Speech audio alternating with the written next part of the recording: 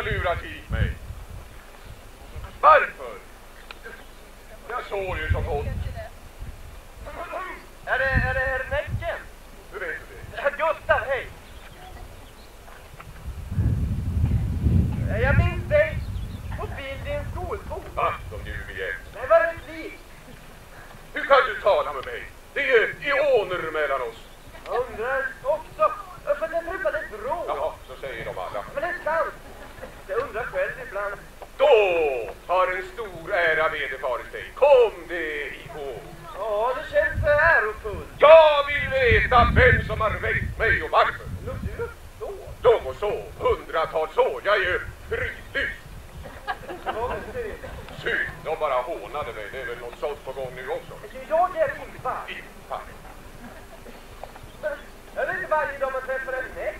En stor ära. Ja, men så säger de. Hundra år. Du brukar ju, du brukar stå i bäcken och lira fiol. Ja, ja, lira. Jag undrar vad du hade gjort om du hade hört det. Säkert Svensktoppen direkt, men... Adjö, jag går. Jag står inte ut med förolämpningar. Och nedsmutsad. Vet du varför jag gav mig iväg?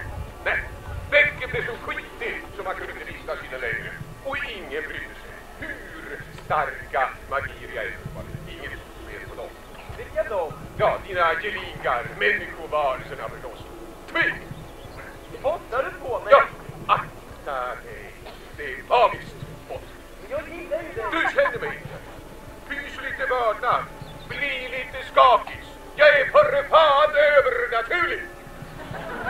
Jag är ingen vanlig. Jag vägrar att bli vanlig. Precis som allt annat i er endimensionella tillvaro. Du, det nya dataspelet. det- Adjö. Jag går. Jag vill veta vem fan som har väckt mig. Jag ska slå ihjäl henne. Vad gör jag här? Jag vill hem och drömma om gamla tider. Då kunde man driva en sinnessvaghet med djävulens polska. Och drömma alla färska små jungfrur som man med i bäcken. Men du, du måste vara kallad. Det skulle vara en resurs i vår kamp. Ja, för